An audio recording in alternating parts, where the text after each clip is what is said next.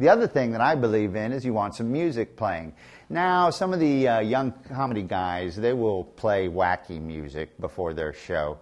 And I kind of disagree with that. I think you want to play something good before the show. Music, uh, uh, a, a famous musician friend of mine, I won't name here, told me very clearly that there's only two kinds of music. We were talking about styles and honky tonk versus rhythm and blues versus rock and roll and rockabilly. And he said, You know, there's really only two types of music. And I said, What are those? And he said, Well, I prefer the good kind.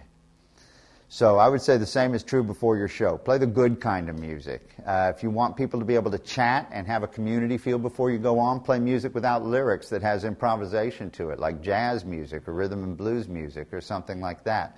Or if you have a style about your own show that you want to help, pick a piece of music that helps you with that would be a good way to do it. But let that room be warm. Don't start with a cold audience. Let that room be warm and let them be comfortable.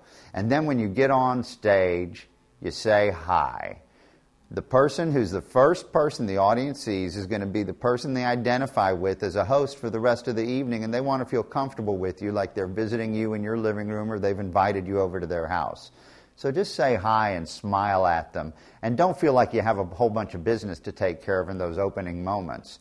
And then what you do once you're on stage getting ready to host an improvisation show, we'll talk about that in another clip. So in the meantime, there's another show prep clip for you to do with pre-show. This is Les McGehee from Plays Well with Others and Expert Village. I'll see you in the next clip.